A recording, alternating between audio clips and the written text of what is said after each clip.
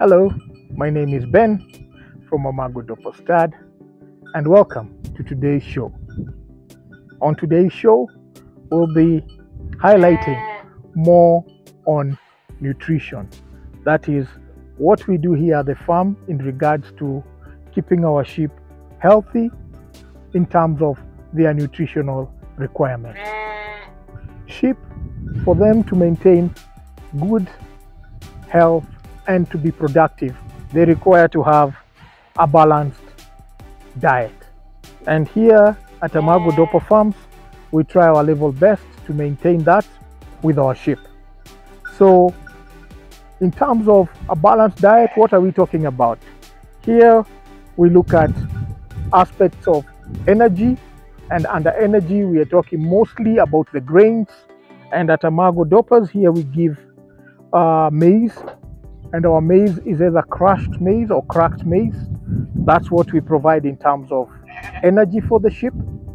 And when it comes to the protein side of it, we give a mix of soya meal and lucerne and cottonseed cake together with sunflower. That ensures at least they have a intake of a crude protein slightly over 15%. And generally, sheep will do very well with any uh, protein intake that is above 10%. Yeah. Another thing we look at is to ensure that we have introduced minerals. Minerals play a vital role when it comes to the nutritional uh, requirements for the animals. And for sheep, it's not an exception. So, in our case here, we ensure that the major minerals, that is the calcium, the phosphorus, we are able to provide it both in their mineral lick and also mixed in their feed to ensure that they have strong bones and it also gives them better posture and ensures faster growth, especially for the lambs. And another important aspect that we also ensure is to ensure that trace minerals like magnesium, zinc, and selenium are available in their mineral lick. So, for minerals, it has to play a critical role as you bring up your flock. Another thing that we look at in terms from a nutritional point of view is the vitamins. So you have the vitamin A, you have the vitamin D and the vitamin E. Vitamin A and E generally we get it from the pastures or rather from the uh, either from the Lucerne, from the Boma Rhodes, and especially when it's a bit dry, we also give them a bit a shot of multivitamin, which also has a complex vitamins in them. And for vitamin D, mainly you get it either from green matter, which is mostly from your uh, your hay, and also we do get it from the sunlight. So for vitamins, that's how we go about it. And generally, what we do here is to ensure that we categorize our sheep depending on various factors. Because remember, your sheep require certain nutritional requirements at different points in their life.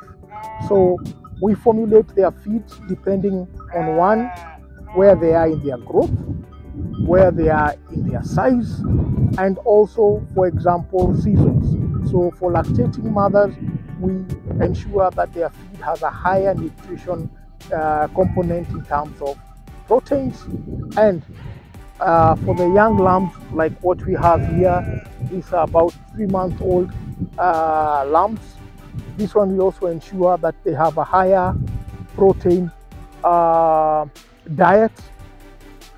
And this ensures why do we give them higher proteins in their diet? Because they are at their growth level. These are the point whereby you want them to grow fast. So you have to ensure that the protein is at a, a higher level than you would give sheep in different ages. So for the lambs and for the lactating mothers, And also for the expectant mothers at about four to six weeks to lambing, we ensure that their diets have high uh, protein uh, content. Another important thing that we do is for the mothers that are lactating, we also ensure in their leaks that it has a higher phosphorus uh, element. This ensures that when it comes to them having enough milk for the young ones, that they indeed have sufficient milk.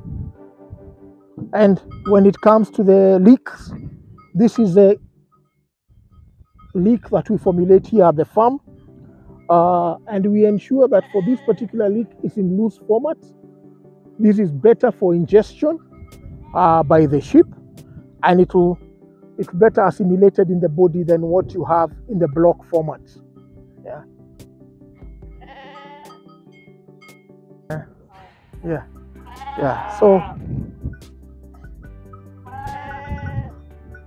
here at the farm, uh, we formulate our own mineral leeks mainly because we have to ensure that the copper level is very low and this is because sheep and also goats uh, they are very susceptible to copper poisoning so you have to be very careful with the type of blocks that you buy out there so to ensure that their level of copper is very low because with sheep they are not able to take as much or ingest as much copper as you would find in the cases of the cows.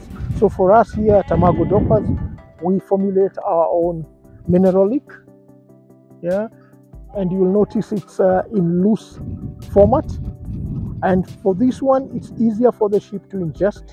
And also another reason is that we found from experience is that with the block salt, uh, the sheep, unlike the cows, are not able to lick uh, the salt. They actually bite on the on the block, and of course, this will have some wear and tear effects in terms of their teeth. And you'll notice as your sheep are growing older, if you just uh, you know give them the block format, that their teeth will be worn off in a couple of years' time.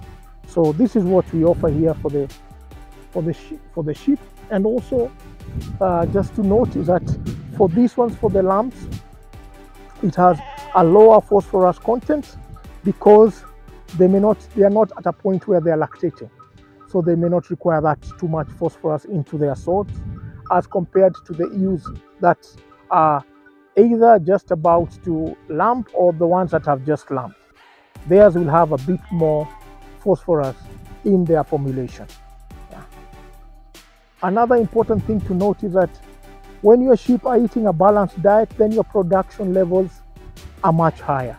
Either if you're keeping them from, uh, if you are looking at it from a point of milk production or taking care of the lambs, uh, sheep that have a balanced diet will be able to take care of a lamb up to weaning and beyond that point. At the same time, if you're keeping them for meat, then you'll be able to have very, weight, uh, very good weight gains and also very good growth rate.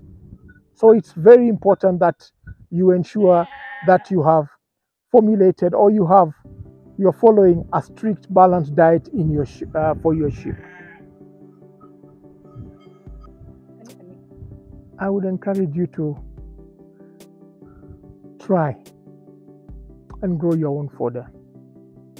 Uh, it's very important to see how best you can be able to lower your costs because with food that you're buying or feed that you're buying literally off the shelves it's you'll find it very tough especially now with the drought that we are encountering here in kenya for you to be able to uh, maintain your sheep and actually have them thriving because of the high costs of production especially from a feed point of view so, what I would also encourage is let land not be a limiting factor to you or your location.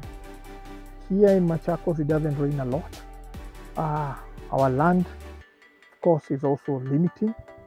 So, see what best you can be able to grow within your locality and also look at being able to partner with other farmers out there because through partnerships you'll be able to grow further by partnering with someone, for example, who's coming from the maize belt That is the Kitales uh, of this world where it's raining, and you'll be able to partner with them, grow together, and of course share the produce, and that way you'll also be able to lower your cost.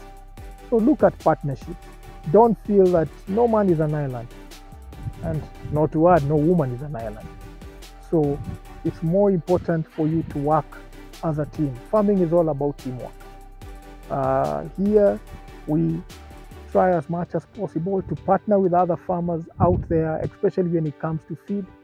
Uh, growing maize, uh, we, we need maize in plenty because remember, from an energy point of view, energy plays a very crucial role in the diet and it actually takes about 70% of your uh, nutritional requirements if you're formulating the feed. So you need to have a very good source of that particular energy, and in our case, the maize, and hence the need of partnerships with other farmers, and we grow the maize together. And that's something you should also look out for yeah, to ensure at least that you're not losing out from a production point of view just because uh, you feel limited by your location and by your land size. At this point, I would like to request for all farmers out there, please put under on the comment uh, bar, please let us know where you're farming, what you're farming, what is your specialty, and let's form a community whereby we can be able to lower our costs of production by actually, you know, coming together and growing certain feeds together. And that way we'll be able to reduce our costs and also be able to enjoy the synergy of being able to work together. Yes, so here we have the Super Napier Pakchong 1. Uh, this is about now, by the end of this week, it will be on uh, three and a half weeks that we grew this. And uh, we are growing this so that we can be able to lower our costs, especially when it comes to uh, the protein source and the energy source. As what has been said before about the uh, super Pakchong out there is it has very high crude proteins between 16 to 18 percent. And also the biomass you get out of this in an acre you're able to do anything between 180 to 200 tons.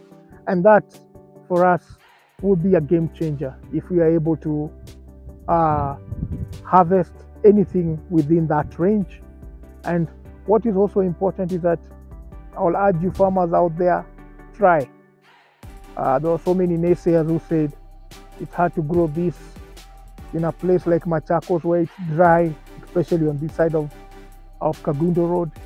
And clearly, the testament is there that it's, it can grow. Now we need to get to harvest stage and we'll be sharing with you more videos, more photos in terms of updates of how we're getting on with it. So I encourage you, go out there, pick on what you need to grow, and give it your best shot. Thank you for taking the time uh, to watch and also to subscribe to our channel.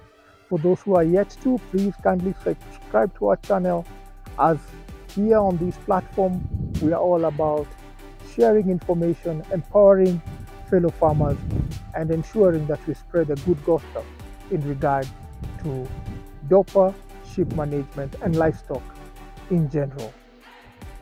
Happy farming. Till next time.